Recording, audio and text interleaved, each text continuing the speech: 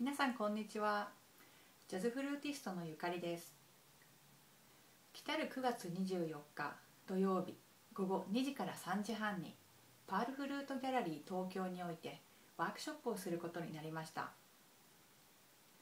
今回は初級編で気軽に学べるフルートワークショップになります。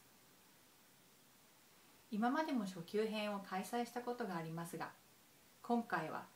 ジャズフルートをこれから吹いてみたいという方を対象に全くジャズの知識がなくても参加できる会を開催します。そして課題曲には皆さんも馴染みがあると思われる「Fly Me to the Moon」を選んでみました。この曲はいわゆるジャズっぽいという要素が散りばめられているので楽しくメロディーを吹きながらジャズの雰囲気を味わってみたいという方にはぴったりだと思います。ジャズフルートというと難しそうとか何から手をつけたらいいかわからないと思われる方もいらっしゃるかと思いますが今回はまさにその第一歩を歩き始めるという回です。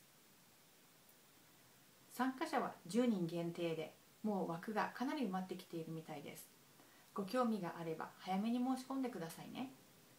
では皆さんにお会いできるのを楽しみにしています。